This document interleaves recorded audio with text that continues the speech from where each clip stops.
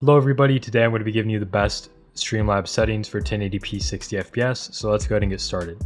First thing we're going to do is go to our output section, we're going to make sure our output mode is set to advanced, then we're going to make sure our encoder is set to H.264 if we want to use our hardware encoder, which is what 99% of uh, people watching this will want.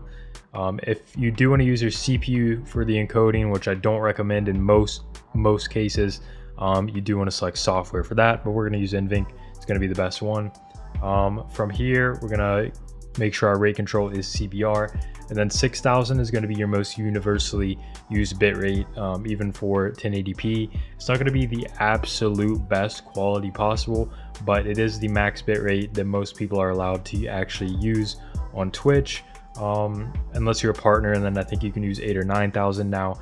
It is different if you are streaming to YouTube. You can use a much, much higher bitrate and get much better quality streaming on YouTube if it's set up properly.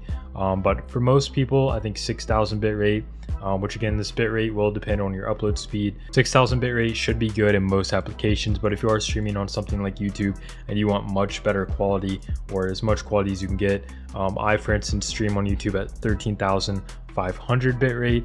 Um, you could also, you know, do 10,000 um, or even 9,000 could be good, or even all the way up to 15,000 um, if you want like a, a crystal clear 1080p stream on YouTube, if your internet can allow it. We're gonna leave this at 6,000 for now because that's gonna be uh, the best for most people. Uh, preset, you can leave this on quality. You can change it to max quality if you if you think your your system can handle it and you want a little bit better quality. But for most cases, I think quality is just fine. Leave everything else on default.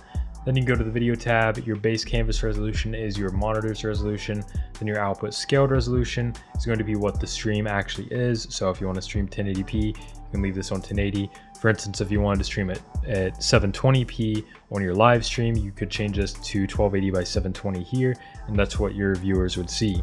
Um, for the downscale filter, these don't seem to make too big of a difference, but if you do want technically the sharpest quality, um, you can use Lanczos here.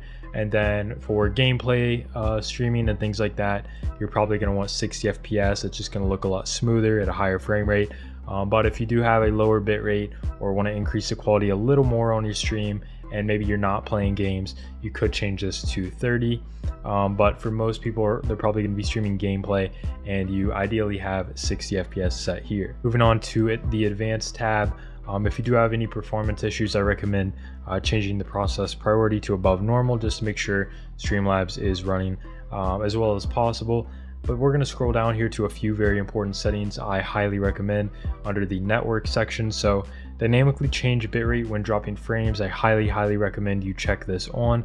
This is going to allow your stream to essentially just lower its quality when there is any congestion with your internet speed um, instead of actually dropping frames entirely, which is where your stream will look very skippy and it will just like skip frames entirely, which you do not want that. It's a very, very bad viewer experience.